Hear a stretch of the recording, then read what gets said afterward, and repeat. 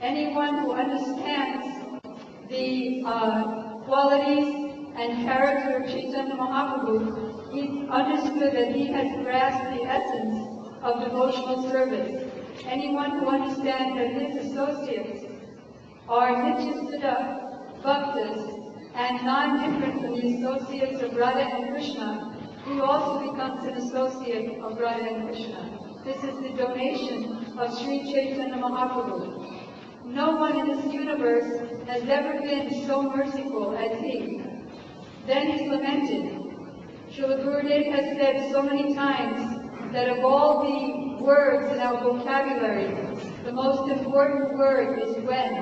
When, oh when will that day be mine? And Sri Narahari Das is showing us the example, lamenting and praying, when will that day come? He says, Gauranga Baliya Nagenu Baliya, Kemane Darinu Day. When I chant the holy name of Gauranga, unfortunately my heart does not melt. So how do I continue to maintain the burden of this body? We're taking pleasure in the body, soaping it so nicely, but our acharyas are teaching us that it's nothing but a dead rock. Not, there's no life in it. Unless we're Krishna conscious, unless we take the shelter of Gauranga Mahaprabhu. And then he's begging the Lord, how is it that the Lord has created in me a stone for a heart instead of giving me a heart? So as our Prabhupada used to often say when he was commenting on our Acharya songs, Lamentation is purification, and our acharyas are teaching that we should always think that we're the most worthless, uh, insignificant, and that because of my past sins and offenses, I'm not getting any taste for the holy name. Therefore, we pray to Chaitanya Mahaprabhu and our acharyas and our Gurudev that please give me the great taste for the great treasure of the holy name. I'm simply running after you, shouting, calling out Krishna, Krishna. And Gurudev is teaching us, he's the embodiment of all of our acharyas, teaching us how to chant and weep. Just one last thing. I once uh, told Gurudev that you've given me so many services, Gurudev, that I, my sadhana, my chanting is sloppy. And I thought he was going to say, no problem, you work so hard, one day it will come automatically. He said, no, you're doing everything wrong. You have to be like me, chanting and weeping. So I have so many services, showed me that he was uh, on his fourth day of beads to chant 64 rounds, and so many devotees come and see him all day. He said, still, I take time out for chanting and weeping. So Narahari is God showing us that, and Gurudev is embodying it and giving that to us. Thank you.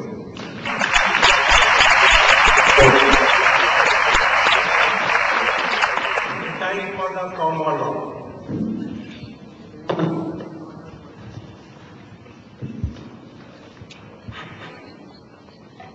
If anyone has my contact, they want to let pumps.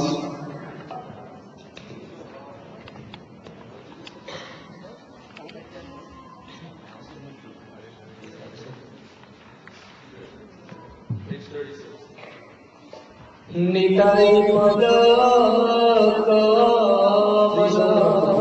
upstairs, so that we have ventilation. All the stories upstairs. Koti Chandra شوشی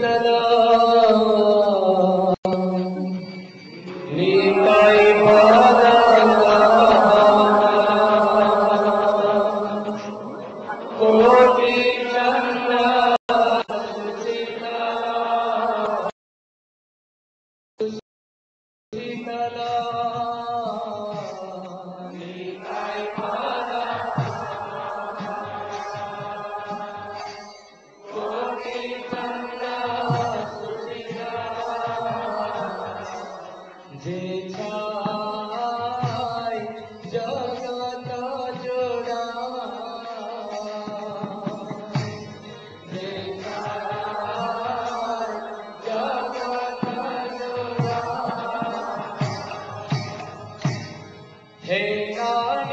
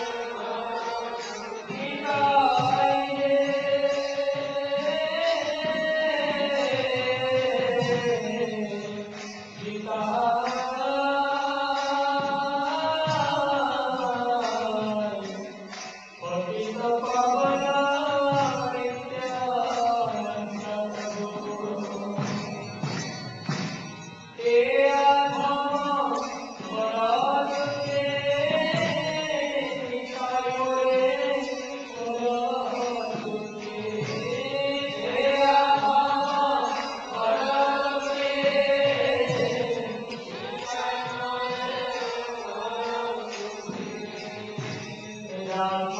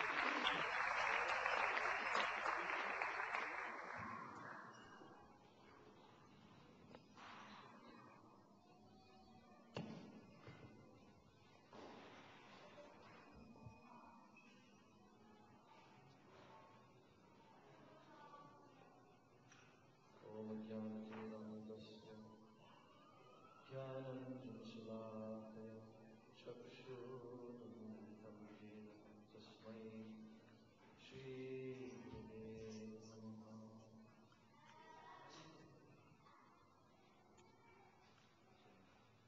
This very important song by Srila Narottam Das Thakur is called Sri Nityananda Nishta. It means gaining firm faith in Sri Nityananda Prabhu. Nityananda, this name, it means eternal ananda, ecstasy or happiness. So Sri Nityananda Prabhu, he is none different than uh, Sri Gauranga Mahaprabhu, who is his life and soul. And also Nityananda Prabhu is none other than the personality of Godhead Sri Balaram Ji, who is the first expansion of the Supreme Personality of Godhead Sri Krishna himself. So Sri Balaram Ji, he is the very embodiment of Guru Tattva, the principle of Guru. Sri Balaram Ji, his very name, Bala, it means spiritual strength. What is that strength? That strength is by which the Jiva soul can serve Krishna eternally in their eternal relationship or rasa and attain Krishna prema. So that same Balaramji, uh, who is the source of all existence, he is the Sandhini potency, uh, the predominating Lord or deity of that potency of existence. So all of creation rests upon the potency of Sri Balaram, and that same divine, supreme Lord has mercifully